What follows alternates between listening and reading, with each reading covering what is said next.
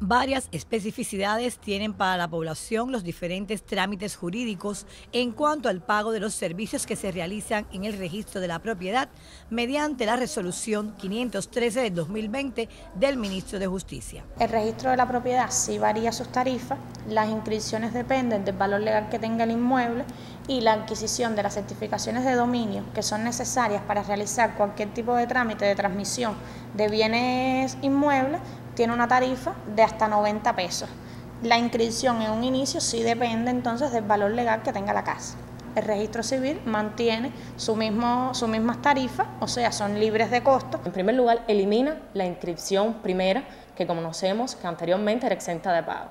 Ahora todas las inscripciones se van a cobrar, pero va a ser en dependencia del valor legal del inmueble. Es decir, establece un conjunto de parámetros hasta 5 mil pesos, por ejemplo, una persona natural va a, pagar por la inscripción 90 pesos y una persona jurídica hasta 5 mil pesos por el valor de su inmueble va a pagar 300, es por citar un ejemplo. Asimismo, elimina que la certificación de dominio, que conocemos que es el documento que emite el registro como medios de publicidad, certificado de dominio que además es necesario para cualquier acto de transmisión de dominio, dígase una compra-venta, etcétera, va a costar 60 pesos para las personas naturales y para las personas jurídicas 150 pesos, por ejemplo, que es de los documentos más solicitados en nuestro registro.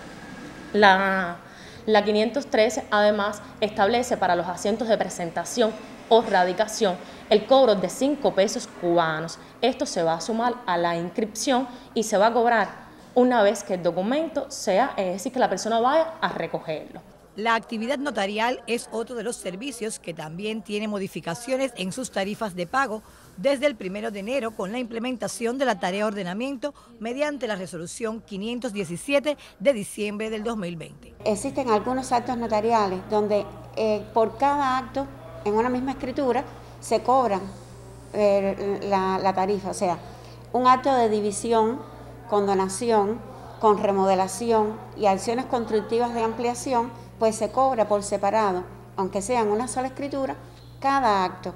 Aquí las tarifas eh, por compraventa de vivienda, pues entonces se hace por el valor que se hace la, venta del inmueble, tanto también en las de vehículos, por el valor que se hace la venta del vehículo.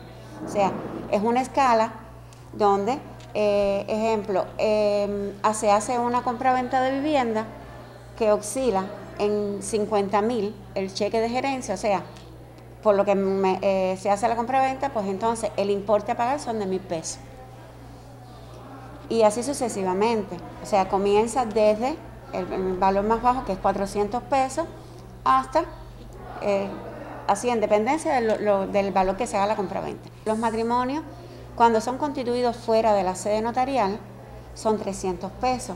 Cuando son dentro de la sede notarial son 75 pesos. Eh, las personas que quieran hacer testamento, el testamento es 100 pesos dentro de la sede, pero ya cuando te vas a trasladar fuera de la sede, esa constitución cuesta 30 pesos. Entonces que se suma esos 100 pesos, o sea, serían 130 pesos cuando no es dentro de la sede notarial.